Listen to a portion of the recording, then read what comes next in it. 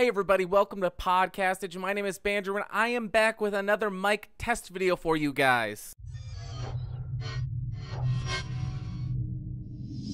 One of our viewers that goes by the name of Dubmaker requested that I test out the Neewer NW700 microphone, which is what I'm doing today. So let me go ahead and share a theory I have with you guys.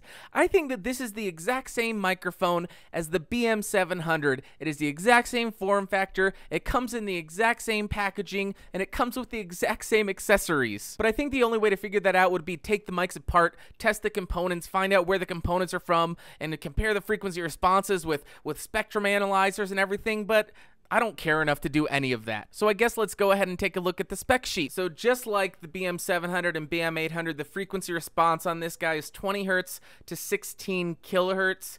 And I'm just going to leave this up for another second so you can get a look at the rest of those parameters, those specs, if you care. Okay, so here's a visualization of the frequency response. Right up here, there's a little bit of a cut around 5K. There's a little bit of a boost around 10K. And then down around 30 hertz, we see it just roll off slightly. Then here's a picture of the polar pattern, just showing you what areas around the mic are going to be able to pick up the best sounding audio. So if you do decide to pick up this mic, which is about 27 bucks on Amazon, and I'll I'll throw a link in the video description. What you're going to get is the microphone, the pop filter, the shock mount, and the cable, which is an XLR to 1 8 inch or 3.5 millimeter cable. This microphone does require a little bit of power, and some microphone input jacks on computers don't provide that. So I found a way to overcome that, and that's just using a cheap $6 USB audio adapter, which I'll throw a link to in the video description if this mic doesn't work on your computer immediately. So for 27 bucks, you get everything that you need to start recording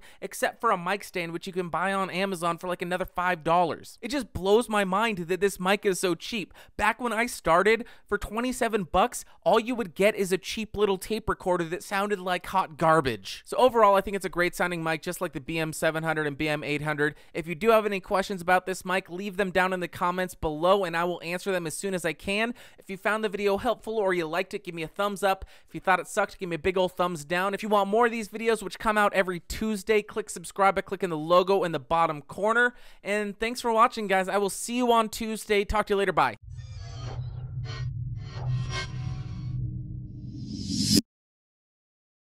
And people are just coming to hear what the mic sounds like, anyways. They don't care about anything else, right?